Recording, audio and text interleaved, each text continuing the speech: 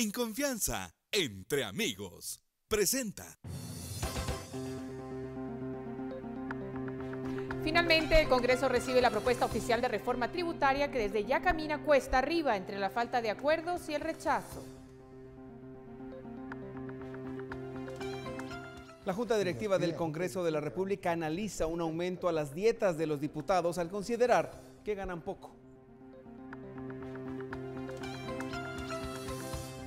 El Ministerio de Educación firma acuerdo con el Sindicato de Maestros con un compromiso para mejorar la educación de calidad y proveer materiales didácticos, así como refacción.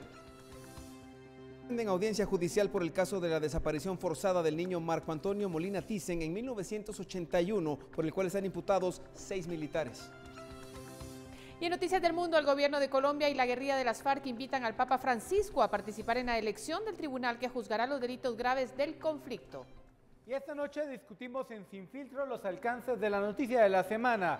Con el hashtag SF Paquetazo hablamos de la entrega del Ejecutivo de la propuesta de reforma tributaria.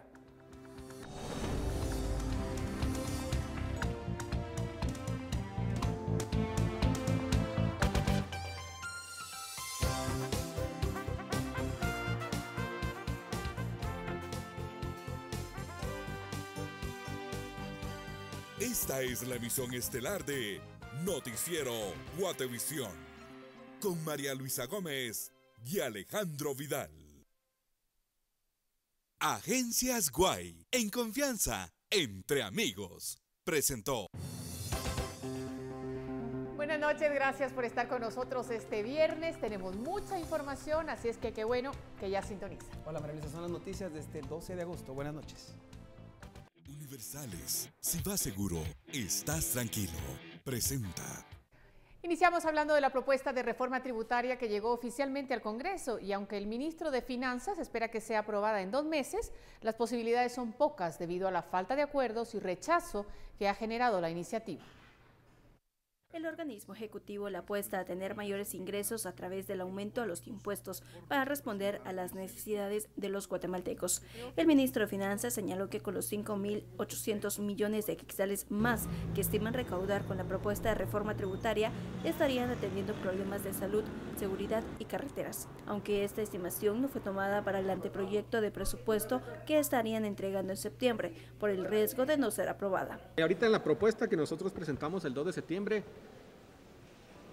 menos que pasara algo extraordinario y la mañana, la próxima semana saliera la iniciativa y se aprobara, lo cual no va a pasar. Nuestra propuesta el 2 de septiembre va sin estos ingresos. No va. No va absolutamente nada de eso. El ministro explicó que la propuesta fue planteada bajo el argumento que quien tenga más, pague más, por lo que se decidió el aumento al ISR dependiendo de los ingresos. Las personas que facturan más de 250 mil quetzales al mes suben su tasa de 7 a 12. O sea, si eso no es subirlo de una forma significativa, yo no sé qué sería subirlo de forma significativa. Y ahí hay personas que ganan mucho dinero y empresas muy grandes que están en ese régimen que van a subir de 7 a 12, o sea, es casi el doble. Y en el caso del impuesto sobre la renta sube también de 25 a 29, que es un, es un 20% casi de aumento. Entonces es un aumento muy importante. Si las reformas son aprobadas, el Ejecutivo tendría más recursos para utilizarlos en las áreas prioritarias, aunque el escenario no es alentador para las autoridades de gobierno, debido al rechazo que ha generado la propuesta y que incluso diputados están en contra. La próxima semana la iniciativa será leída en el Pleno y se espera que la última semana de agosto inicie a ser discutida. Por una Guatemala en paz, Dulce Rivera y Noé Medina. Además de ser recargado el aumento a la gasolina al consumidor final, la gremial de combustibles considera que ese incremento va a impactar al sector, por lo que analizan los escenarios y plantean que el impuesto sea menor. La gremial de combustibles se opone a la propuesta de incrementar el impuesto de distribución del petróleo a tres quetzales por galón de gasolina y diésel. Y buscar definitivamente una reducción en este impuesto que impacta directamente al consumidor eh, como a los empresarios. Eh, del, del, sector de combustibles. Tenemos que parte de este impuesto eh, va para lo que es covial y por lo menos no hemos visto una mejoría en, este, en el tema de las carreteras. Entonces, eh, es, es importante no solo discutir el incremento de los impuestos, sino que la calidad del gasto y cómo se va a aplicar este. De acuerdo al sector del combustible, el incremento debería de ser menor al propuesto. De lo contrario, de ser aprobado, el impacto podría reflejarse en las ventas e incentivar el contrabando. Incidiría en el precio del diésel, que es el que está siendo más afectado porcentualmente, un 230% de incremento, y tendría una incidencia sobre, sobre esto en los, en los fletes y en los... Eh, y en lo que es eh, los autobuses. Nos preocupa principalmente eh, el Salvador, que tiene impuestos mucho más bajos que Guatemala y que se va a poder generar ahí eh, un comercio ilícito por medio de esta frontera. El incremento de la gasolina es el grueso de la reforma tributaria que generaría unos 2.700 millones de quetzales según la propuesta del Ejecutivo. Por una Guatemala en paz, Carolina Leverón y José Orella. Y la Junta Directiva del Congreso analiza aumentar a las dietas que reciben los jefes de bloque por acudir a las reuniones, pues a criterio de un diputado ganan muy poco. Los 18 jefes de bancada podrían ganar un poco más si la Junta Directiva decide aumentar las dietas que reciben por representar a sus bloques y participar en las reuniones en donde acuerdan la agenda que abordarán en el Pleno.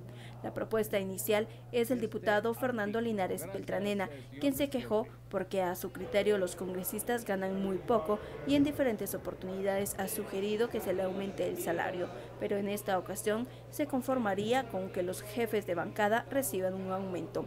Actualmente los diputados que cumplen con esta función reciben mil quetzales y el aumento podría ser de mil quetzales más. En todo el país, ni la municipalidad más pobre o más lejana del territorio gana una dieta como la ganan los jefes de bloque. Entonces, Junta Directiva va a tomar la decisión si lo sube o no, porque por unanimidad, si ustedes se dan cuenta, yo pregunté si alguno se oponía y todos totalmente de acuerdo, toditito a las bancadas, y nos piden a Junta Directiva que hagamos un ajuste de la dieta y está bien. Taracena señaló que no se incrementarán las demás dietas ni el salario que reciben los diputados. Pero no me voy a exceder, pues va a ser solo para jefes de bloque. Punto, no hay para más. Vamos a hacer algo razonable, ¿verdad? Creo que está correcto, pues. Un diputado recibe al mes 24.150 quetzales, que incluyen dietas por participar en el Pleno y en comisiones de trabajo. Los jefes de bancada reciben mil quetzales más, mientras la directiva tiene un salario mayor. El presidente, por ejemplo, recibe un total de 44.150 quetzales. Por una Guatemala en paz, Dulce Rivera y Noé Medina. Universales. Si vas seguro, estás tranquilo. Presentó.